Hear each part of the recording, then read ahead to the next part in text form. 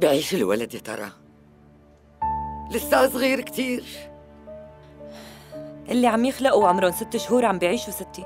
بكرة بيحطوه بالحاضنة دغري. إذا الله كاتب له إنه يعيش رح يعيش مرت عمي. أنت لا تشغلي بالك. إمتى بقى تقوم بالسلامة وأحمل هالولد بين إيدي وشوف وشه؟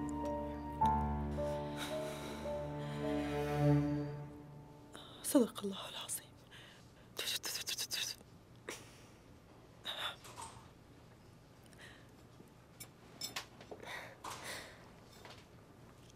أهلا وسهلا أبني. راحوا كل ضيوفك؟ راحوا أمي. منيح منيح. كيفك يا زهرة؟ خبروني إنك منيحة بس حبيت إجي وشوف بعيوني. ليكي شو جبت لك؟ بعرف إنك بتقري بسرعة. أول ما تخلصي بجيب لك غيره. يسلموا عمو عزة. بس نسافر على اسطنبول. رح نبدأ حياة جديدة نحن التنتين.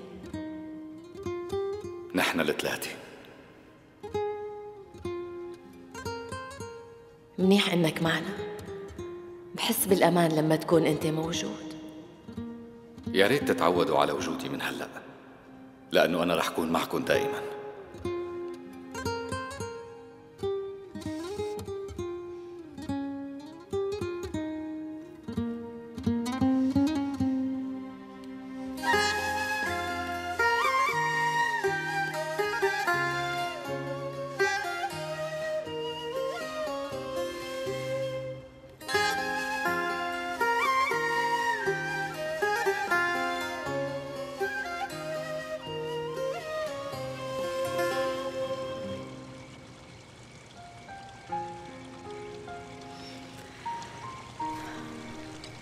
حطي هذا عليكي ستي لورين يا ريت تفوتي تستنيهم جوا. الطقس بارد كتير هون. هون منيح. الهوا النظيف بيريحني كتير. ابني رجع على بيته. ألف الحمد لله. وبكرة بيجي حفيد ابني جمال على هالبيت وبحطه بحضني كمان. إن شاء الله بيجي وبتحطيه بحضنك. ليكي شكله مل من القعدة ببطن أمه ومستعجل بده يطلع هالأزعار. والله شكله طالع إلي بيحب كل شيء يصير بسرعة.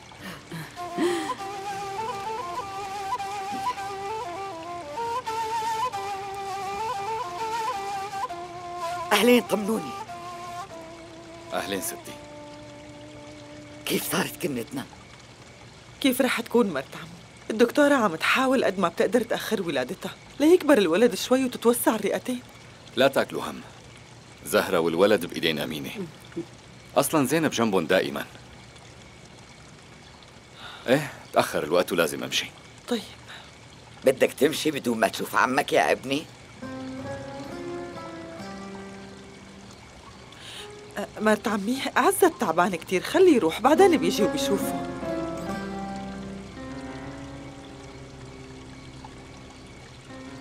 وصل وصار بنص البيت. وبدك يمشي قبل ما يشوف عمه ويبوس إيده.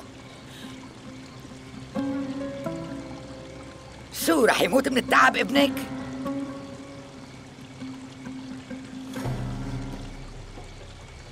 غانم مثل أبوهن زمرد هو رباهن وهو اللي دار باله عليهن.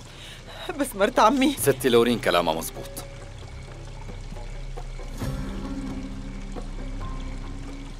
راح فوت شوف عمي واطمن عليه قبل ما امشي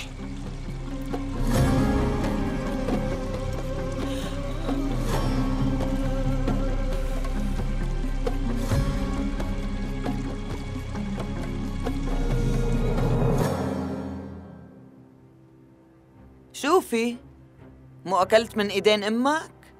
مستصعب إنك تاكل من إيديي؟